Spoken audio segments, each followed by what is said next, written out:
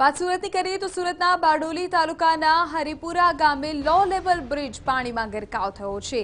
હરિપુરા ગામે તાપી પર આવેલો આ લો લેવલ બ્રિજ સિઝનમાં ત્રીજી વખત ગરકાવ થયો છે.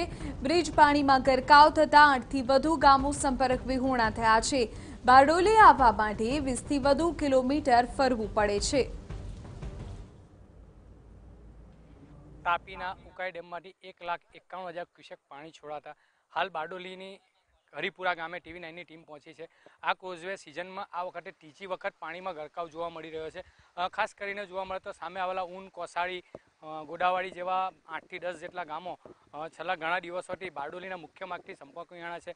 બીજી તરફ જોવા જાય તો સલામતીના ભાગરૂપે હાલ અહીંયા બંદોબસ્ત પણ મૂકી દેવામાં આવ્યો છે. આ સમસ્યા વર્ષોથી ચાલી આવેલી છે કે જ્યારે પણ ઉકાઈ ડેમમાંથી એક લાખથી વધુ ક્યુસેક પાણી છોડવામાં આવે છે, ત્યારે અહીં આ રીતે પાણીમાં ગરકાવ થઈ જાય છે ક્રોઝવે, જેને લીધે લોકોને જીવનમાં હાલાકીનો સામનો કરવો પડે છે અને પચીસથી વધુ કિલોમીટરનો ફેરાવો પડી બારડોલી આવવું પડે છે. તો અત્યારે આપણે દ્રશ્યો જોયા, તાપી જે બેઉ કાંઠે વહી રહી છે તાપીનું રુદ્ર સ્વરૂપ જોઈ રહ્યા છે.